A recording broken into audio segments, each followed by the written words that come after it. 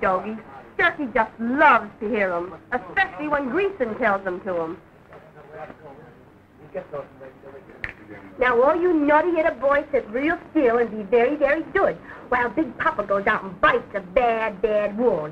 Then when all the wolves are dead, if you've been just the very best kind of good little boys, you can run down to the candy store on the corner and glom yourselves a lollipop.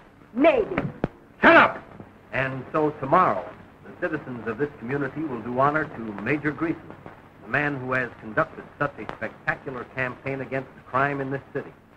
At 1 o'clock, the police parade will start from the corner of Central and Oak.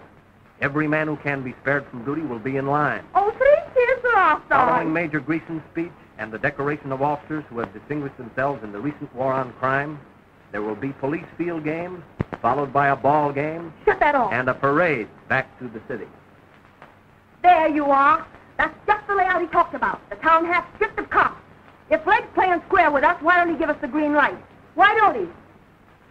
You'll find that out in the morning.